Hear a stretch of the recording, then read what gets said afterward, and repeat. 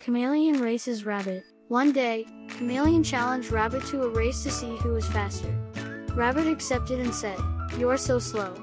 You start with one foot, then stop and start with the other. He boasted, I'm going to leave you far behind. You'll never catch me. They invited all the animals to come and watch the race. Chameleon and Rabbit lined up and waited for the signal. As the race began, Chameleon jumped onto Rabbit's tail. The animals laughed and laughed. Rabbit did not realize the chameleon was on his tail.